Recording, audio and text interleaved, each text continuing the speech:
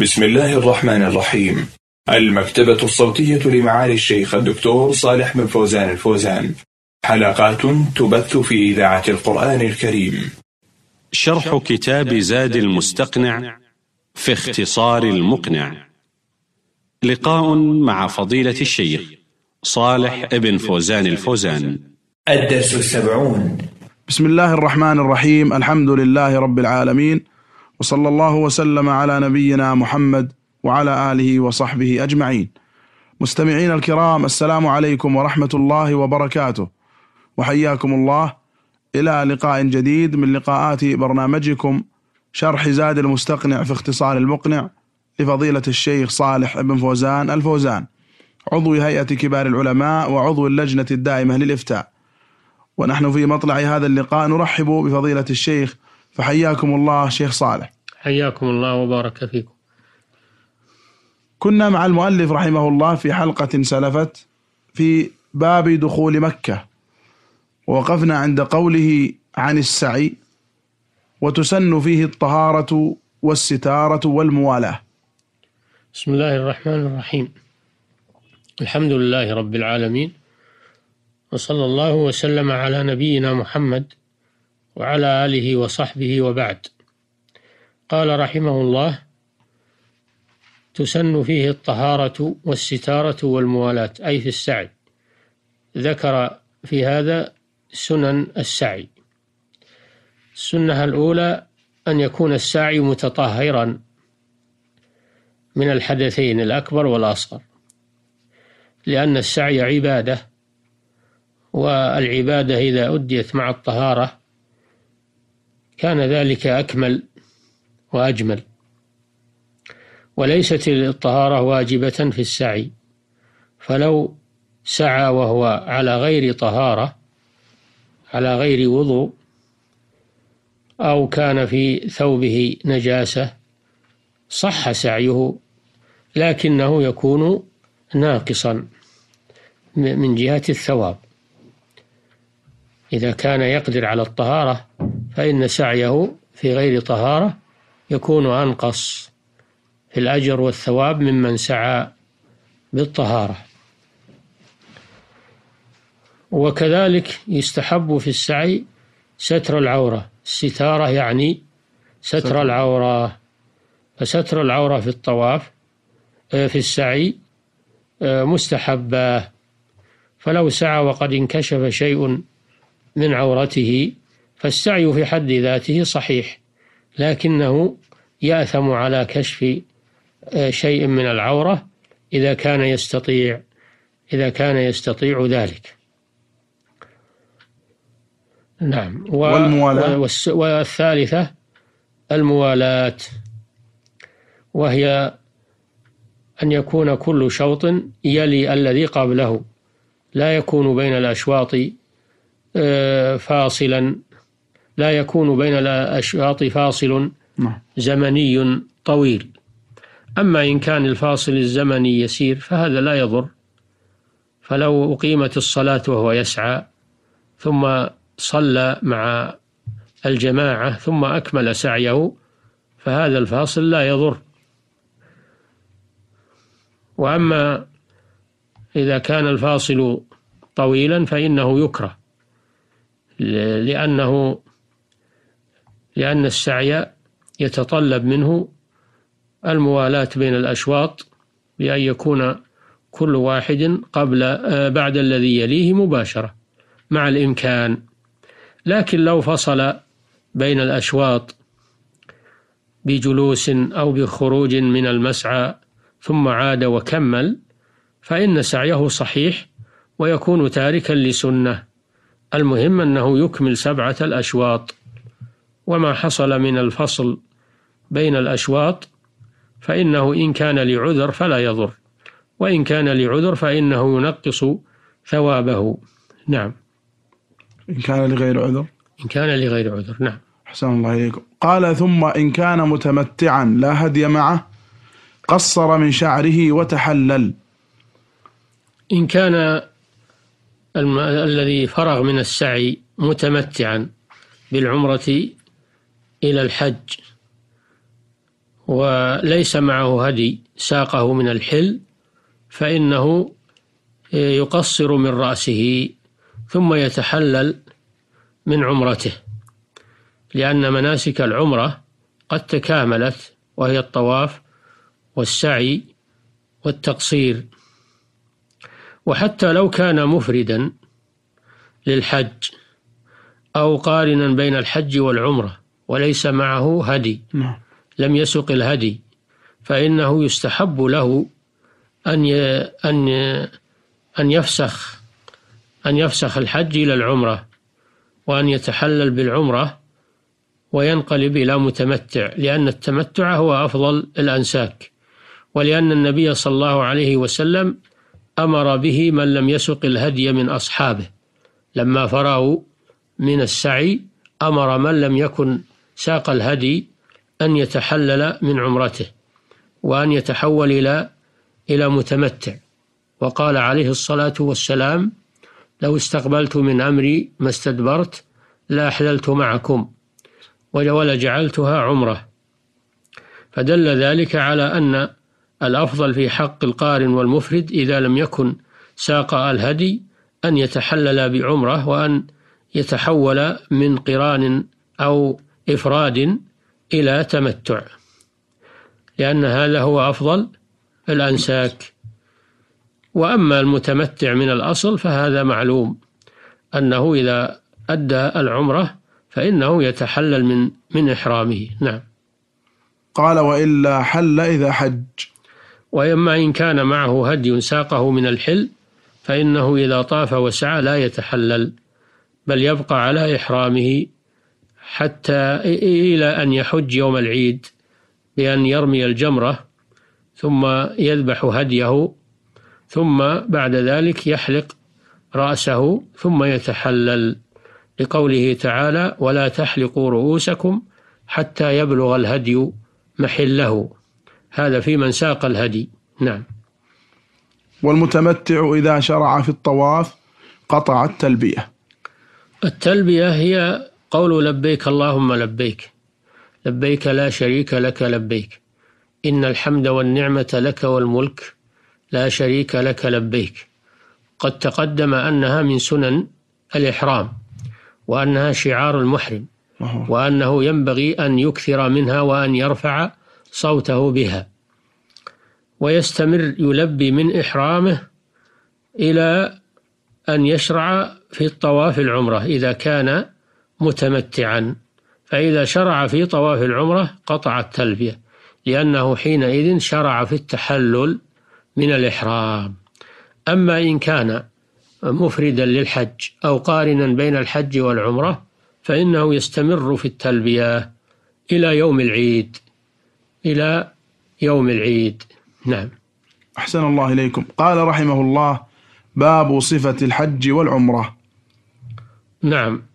صفة الحج والعمرة معناه الكيفية الكيفية الشرعية لأداء الحج وأداء العمرة.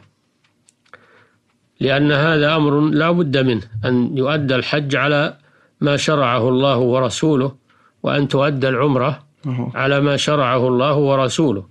لقوله صلى الله عليه وسلم خذوا عني مناسككم. أي تعلموا من أفعالي آه، وأدائي للمناسك فأدوها كما أديتها. لأنه صلى الله عليه وسلم هو القدوة هو القدوة للأمة. قال الله تعالى لقد كان لكم في رسول الله أسوة حسنة وقال عليه الصلاة والسلام خذوا عني مناسككم ولأن الله جعله مبينا للناس ما نزل إليهم من ربهم نعم. فهو القدوة عليه الصلاة والسلام. فما فعله في حجه وعمرته فإن المسلم يقتدي به في ذلك. ما كان واجبا فهو واجب وما كان مستحبا فإنه يفعله مستحبا. كما يأتي تفصيل ذلك. نعم. أحسن الله إليكم. قال رحمه الله يسن للمحلين بمكة الإحرام بالحج يوم التروية قبل الزوال منها. نعم. يستحب للمحلين بمكة الذين تحللوا من العمرة كما سبق. الذين تحللوا من العمرة كما سبق وبقوا ينتظرون الحج.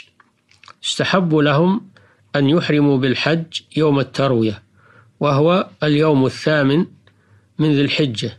سمي يوم التروية لأن الناس يتروون فيه الماء للحج. وهو اليوم الثامن من ذي الحجة ويحرمون في الصباح قبل زوال الشمس يعني قبل دخول وقت الظهر لأن النبي صلى الله عليه وسلم أمر أصحابه المحلين أن يحرموا بالحج في صباح اليوم الثامن من ذي الحجة. هذا هو السنة. ولو أخر الإحرام عن اليوم الثامن أو أخره عن أول اليوم الثامن وأحرم وأحرم بعد الزوال جاز ذلك. والسنة أيضا أن يحرموا من مكانهم الذي هم نازلون فيه. فالمحل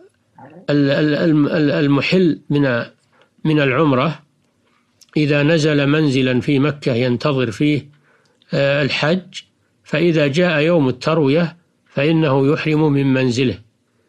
ثم يذهب إلى منى ولا يذهب يحرم من المسجد الحرام أو من تحت الميزاب كما يقوله بعض الجهال نعم. وإنما يحرم من منزله الذي هو نازل فيه لأن النبي صلى الله عليه وسلم أمر الصحابة الذين معه كانوا متحللين أمرهم أن يحرموا بالحج من من منزلهم في الأبطح ولم يأمرهم أن يذهبوا إلى المسجد الحرام وأن يحرموا من عند الكعبة. وأيضا لم يأمرهم إذا أحرموا أن يذهبوا إلى البيت ويطوفوا به. فهذا غير مشروع وإنما يحرمون ويذهبون إلى منى. نعم. ثابكم الله. قال ويجزئ من بقية الحرم. ولو أحرم من غير منزله من بقية الحرم أجزأ ذلك لكن الأفضل أن يحرم من منزله. نعم. ويبيت بمنى فإذا طلعت الشمس سار إلى عرفة. ويبيت بمنى يعني إذا أحرموا في اليوم الثامن قبل الزوال يذهبون إلى منى ويقيمون فيها ذلك اليوم الذي هو اليوم الثامن. ويبيتون فيها ليلة التاسع التي هي ليلة يوم عرفة. نعم. فيصلون فيها الصلوات الخمس. قصرا بلا جمع كما فعل النبي صلى الله عليه وسلم. نعم. فإذا طلعت الشمس فالنزول بمنى في اليوم الثامن والمبيت بها سنتان من سنن الحج. فلو لم يذهب إلى منى وذهب إلى عرفات صح ذلك لكن يكون تاركا لسنة.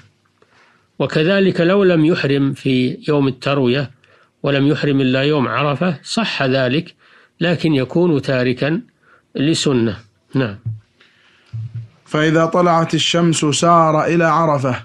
إذا طلعت الشمس سار الحجاج إلى عرفة سواء كانوا في منى كما هو السنة أو كانوا في غير منى فيسير الجميع إلى عرفة إلى مكان الوقوف. لأن النبي صلى الله عليه وسلم آه، سار من منى في اليوم التاسع بعد طلوع الشمس. هذا هو الأفضل. وعرفة هي مكان الوقوف فلا يصح الوقوف في غير عرفة. وكانوا في الجاهلية كانوا يقفون في المزدلفة ولا يذهبون إلى عرفة ويقولون نحن سكان الحرم فلا نخرج إلى الحل. غيروا مناسك الحج فلما جاء النبي صلى الله عليه وسلم أعاد مناسك الحج على دين إبراهيم عليه الصلاة والسلام فمضى إلى عرفة ولم ينزل في مزدلفة. نعم. قال وعرفت وكلها موقف إلا بطن عرنة. عرفة كل ساحاتها وما كان داخل حدودها فإنه كله مكان للوقوف. وقد علمت الآن بعلامات واضحة من جميع الجهات فليكن الحاج داخل داخل علامات الحدود ولا يقف خارج الحدود. وليس لبعض مواطنها مزية على البعض الآخر. قوله صلى الله عليه وسلم وقفتها هنا وعرفة كلها موقف فكلها محل وقوف. وكلها يتأدى بالوقوف فيه آه، ركن آه، يوم عرفة الأعظم الركن الأعظم للحج. فلا يكلف الإنسان نفسه ويذهب إلى مكان معين من عرفة ويقول لا أقف إلا في هذا المكان. حتى موقف النبي صلى الله عليه وسلم الذي وقف فيه آه، عند الصخرات وجعل جبل الرحمة بينه وبين القبلة ووقف هناك. لا يتعين على الإنسان أنه يذهب إليه بل ينزل في أي مكان من عرفة. لقوله صلى الله عليه وسلم وقفتها هنا وعرفة كلها موقف. فالدين يسر ولله الحمد. وليس من شرط الوقوف بعرفة أنه يرى الجبل جبل الرحمة أو يشاهد جبل الرحمة كما يقولون أو يذهب إليه أو يصعد إليه. كل هذا لا لا دليل عليه ولا وليس هو من العبادة بل هو من التكلف الذي ما أنزل الله به من سلطان. وقد يكون من البدع إذا اعتقد أنه أنه يجب الذهاب إلى الجبل أو مشاهدة الجبل أو الصعود على الجبل هذا يكون من البدع التي ما أنزل الله بها من سلطان. بل إذا اعتقد في الجبل أن فيه بركة أو أنه يصلى فيه أو يصلى إليه كما يفعل الجهال أو تمسح بصخرات الجبل أو تمسح بالعمود الذي فوق الجبل. كل هذا من من وسائل الشرك. وإذا اعتقد أن هذا الجبل أو هذا العمود أنه ينفعه أو يضره فهذا شرك أكبر يبطل حجه. نسأل الله العافية. إلا بطن عرنة وهو بطن الوادي. الوادي الذي فيه المسجد الذي ما الذي هو مكان صلاة النبي صلى الله عليه وسلم صلاة الظهر والعصر. قد صلى في بطن وادي عرنة. فهذا ليس من عرفة. هذا إنما صلى فيه النبي صلى الله عليه وسلم صلاة الظهر وصلاة العصر جمع تقديم مع القصر للصلاتين ثم خطب عليه الصلاة والسلام خطب أولا على راحلته ثم صلى الظهر والعصر بأذان واحد وإقامتين ثم ذهب إلى عرفة ودخل في عرفة ولم يبق في هذا المكان لأنه ليس من عرفة. ولهذا قال وارفعوا عن بطن عرنا وهو بطن الوادي المعروف والذي فيه المسجد الذي يصلى فيه صلاة الظهر والعصر الذي يسمى مسجد نمرة. هذا ليس هو في عرفة فلا يقف الإنسان في المسجد. ويقولون إن إن مؤخرة المسجد هذه ليست من عرفة إنها من عرفة. مؤخرة المسجد من عرفة لأنها خارج الوادي. أما مقدمة المسجد فإنها من عرنة فلا يصح الوقوف فيها. وقد وضعت علامات والحمد لله علامات بارزة تبين حدود عرفة والمكان الذي يصح الوقوف فيه والمكان الذي لا يصح الوقوف فيه. حتى في داخل هذا المسجد؟ حتى في داخل المسجد. وضعت علامات تبين ما كان من عرفة فيه وما كان خارج عرفة. والنبي صلى الله عليه وسلم كما هو معلوم نزل في نمرة أول النهار. ثم رحل منها وخطب وصلى في بطن عرنة. ثم رحل منها ووقف بعرفة نعم. أحسن الله إليكم. قال وسن أن يجمع بين الظهر والعصر. يسن أن يجمع بين الظهر والعصر إذا دخل وقت الظهر. وإذا دخل وقت الظهر, وقت الظهر. فإنه يجمع بينهما جمع تقديم. بأذان واحد وإقامتين من أجل أن يتفرغ للوقوف والدعاء كما فعل النبي صلى الله عليه وسلم. نعم. ويقف راكبا يسن أن يقف راكبا على دابته أو على سيارته. وإن وإن وقف جالسا يعني إن إن إن جلس أو نام في عرفة فإنه يجزئه ذلك. ولكن كونه يكون راكبا وقت الوقوف ويدعو وهو راكب. هذا أفضل لأن النبي صلى الله عليه وسلم وقف راكبا يدعو ربه عز وجل. نعم. ويقف راكبا عند الصخرات وجبل الرحمة.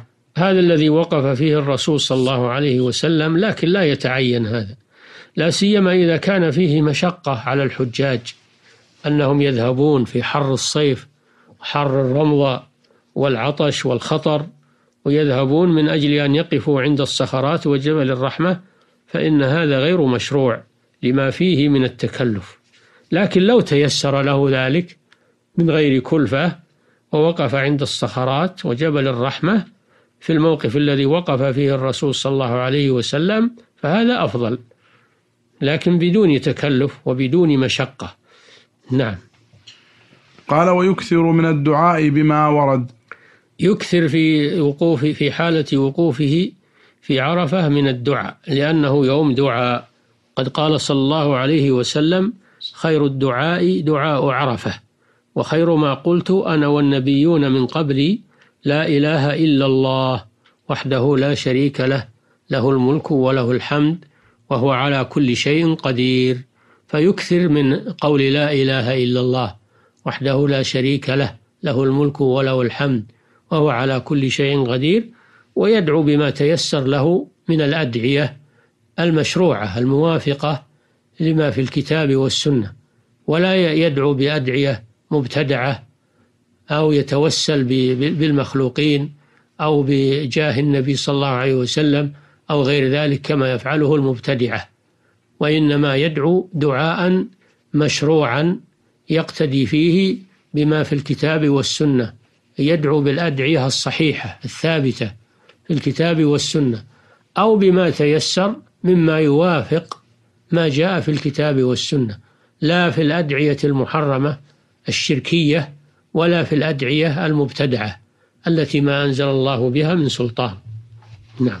أحسن الله إليكم. قال ومن وقف ولو لحظة من فجر يوم عرفة إلى فجر يوم النحر وهو أهل له صح حجه وإلا فلا.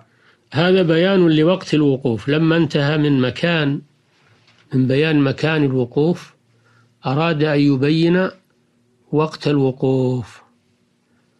الوقوف يبدأ عند الإمام أحمد رحمه الله من فجر يوم من فجر يوم عرفة. وعند الجمهور ورواية عن أحمد يبدأ الوقوف من زوال الشمس يوم عرفة.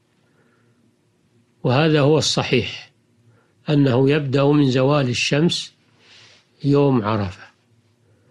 ولكن الإمام أحمد رحمه الله يقول يبدأ من من فجر يوم عرفة. واستدل لذلك بحديث عروة بن مضرس الطائي لما جاء يسأل النبي صلى الله عليه وسلم في أنه ما ترك جبلا إلا وقف عليه لأنه لا يعرف لا يعرف عرفة وأنه أتعب نفسه وأكلل راحلته. فقال له النبي صلى الله عليه وسلم من أدرك صلاتنا وكان في المزدلفة. من صلاة الفجر يعني. من أدرك صلاتنا هذه ووقف معنا حتى ندفع وكان قبل أدرك عرفة ليلا أو نهارا صح حجه وقضى تفثه. فقوله أدرك عرفة ليلا أو نهارا. هذا يشمل من فجر يوم عرفة إلى فجر يوم النحر. لأن عرفة يوم وليلة. يوم التاسع وليلة العاشر. ويوم التاسع يبدأ متى؟ من طلوع الفجر. يوم التاسع يبدأ من طلوع الفجر. وليلة العاشر تبدأ يعني يوم التاسع يبدأ من طلوع الفجر وينتهي, وينتهي بغروب الشمس. وليلة العاشر تبدأ من غروب الشمس وتنتهي بطلوع الفجر. كل هذا وقت للوقوف.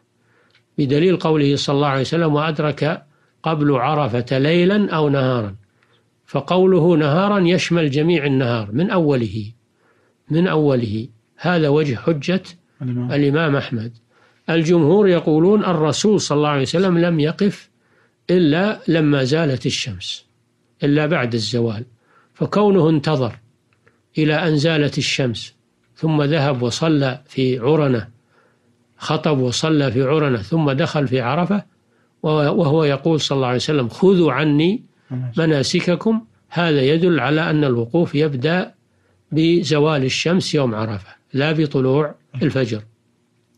وهذا أصح لأنه هو فعل الرسول صلى الله عليه وسلم مع قوله خذوا عني مناسككم. أما نهاية الوقوف فهي بطلوع الفجر ليلة النحر وهذا بالإجماع. لم يختلفوا في نهاية الوقوف أنه بطلوع الفجر ليلة النحر وإنما اختلفوا في بداية الوقوف. هل هي من فجر يوم عرفة أو من ظهر يوم, يوم عرفة؟ نعم. قال صح حجه وإلا فلا وهو أهل لذلك يعني هو محرم. نعم. هو محرم بالحج.